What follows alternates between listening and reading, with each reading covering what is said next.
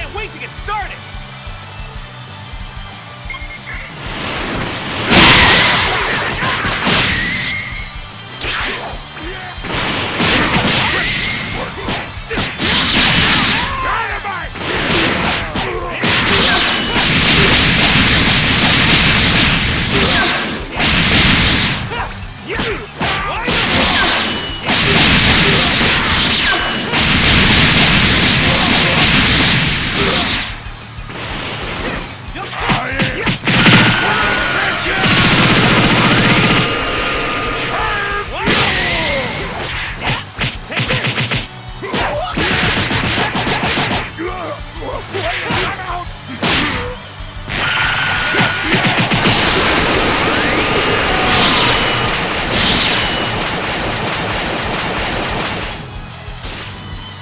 You should train some more.